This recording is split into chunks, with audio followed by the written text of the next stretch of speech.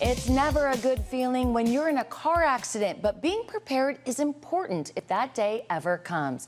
Joe Brown is here, founding partner with Accident Law Group. Joe, great to see you. Welcome back. Nice seeing you. Thanks for having me. We want to first start out and congratulate you on a new partnership you have with MADD or Mothers Against Drunk Driving. Tell me about that. Yeah, so we're the exclusive law firm partner here in Arizona.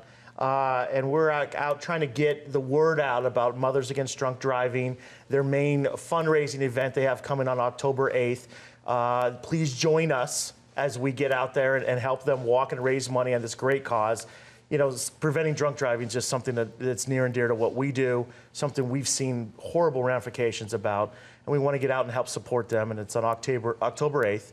So you can find it at uh, madd.org or at accidentlawgroup.com. There's a link there as well. Those women and men in that organization yes. do a lot of great work. So thank you for sponsoring them in our community.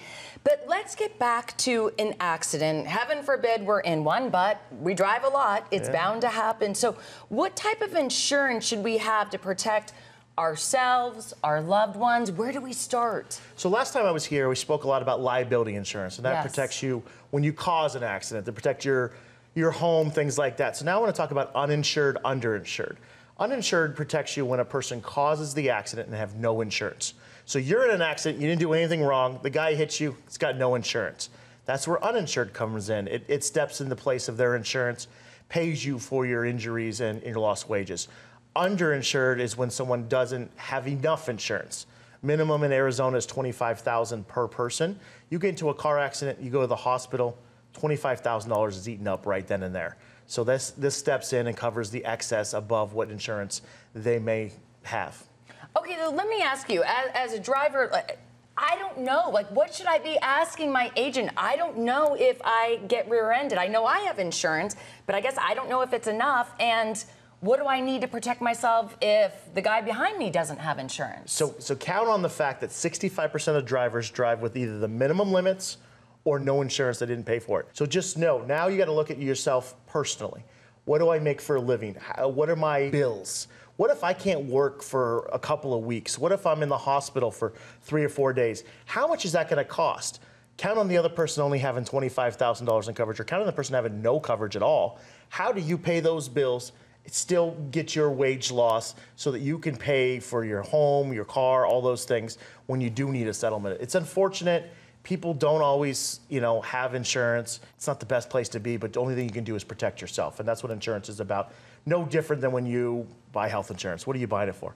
Protect yourself in case something happens.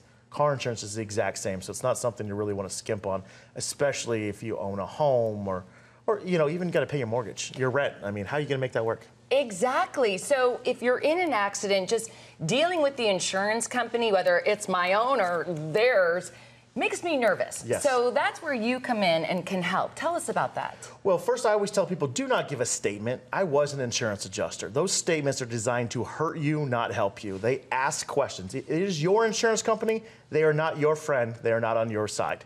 Don't ever confuse the two. Their, their job is to not pay. Their job is to pay as little as possible and that if that means that hurts you and you're there insured, then so be it. You know, so get somebody involved. We offer a free consultation. So you can call us so we could say, you know what, here's the case. Yeah, it's a case. Let's sit down with an attorney and give you a free consultation. Or no, it's just something that's minor. You don't necessarily need an attorney. Don't worry about it. You know what? Do this, do this. Go, you know, go here, and you'll be fine. So it, it, it's a pitfall. They're billion dollar companies for a reason, and the reason isn't because they're out there to help you and write a check. Well, we're glad you're on our side. I always learn so much from you yeah. when you come in, Joe. Thank you so much. You. We appreciate it. And for more information, you can just head to their website, accidentlawgroup.com, or call the number on your screen.